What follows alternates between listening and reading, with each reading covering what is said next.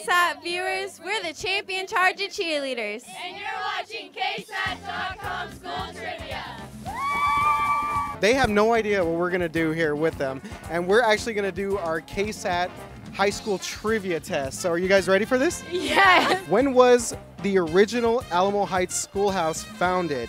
Was it in 1909, 1919, or 1929? And we will start. Who looks more unconfident about their answer?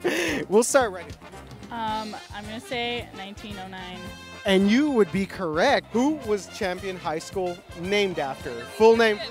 Samuel V. Champion. Well, she jumped the gun. True or false? There is only one high school in the Alamo Heights ISD. Is that true or false? In the entire Alamo Heights district, there's only one high school. Um, false, because we have our alternative school.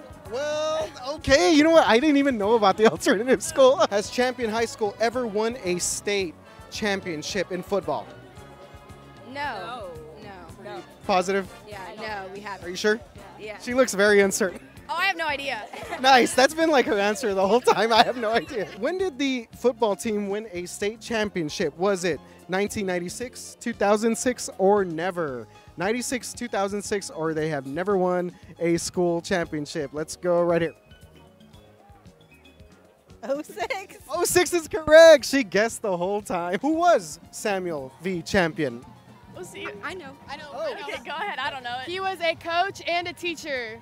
Very nice. Has the Alamo Heights cheerleading team ever won a state championship? Yes. Oh, wow, you knew that one. Yes.